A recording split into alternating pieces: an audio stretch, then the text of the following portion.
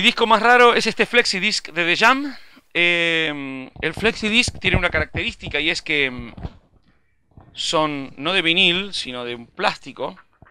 Y se llama Flexi Disc porque era un formato hecho para venir con las revistas o con alguna obra de arte en la cual los músicos quisieran editar canciones o versiones raras. Esto debe ser de 1980. Trae Pop Art Point y Boy About Town de The Jam, Flexi amarillo, de la época del lanzamiento de su disco Sound Effects. Esto seguramente vino en una, en una revista Smash Hits o en una New Musical Express, no me acuerdo. Pero lo he conservado y creo que debe ser uno de los discos más raros que tengo.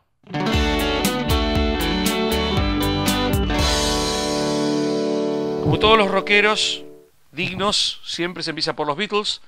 Y aquí tengo unos simples argentinos que me compré de los Beatles. Si bien no encontré hoy el primero que me compré, que fue Frutillas y Penny Lane, que así salía en la versión argentina Strawberry Fields Forever. Eh, los simples de los Beatles, estos dos que trae, uno trae Birthday, cumpleaños, pastelito de miel, o sea, honey pie.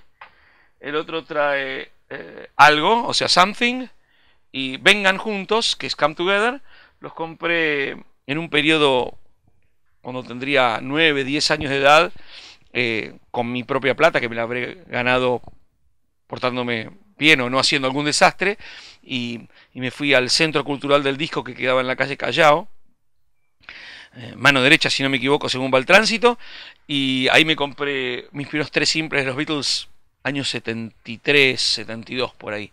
Eh, eso inició una carrera loca de comprar vinilo que sigue el día de hoy.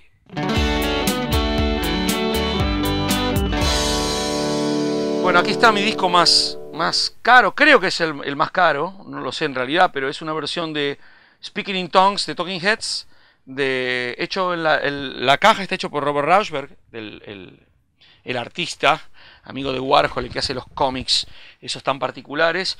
Y tiene un, aparte de ser el disco, el vinil transparente, que acá no se llega a ver bien, pero es transparente, tiene unos inserts muy típicos de, de fines de los 70, principios de los 80. Así que no sé cuántos habrá en el mundo de estos, pero, pero sé que es bastante extraño de conseguir.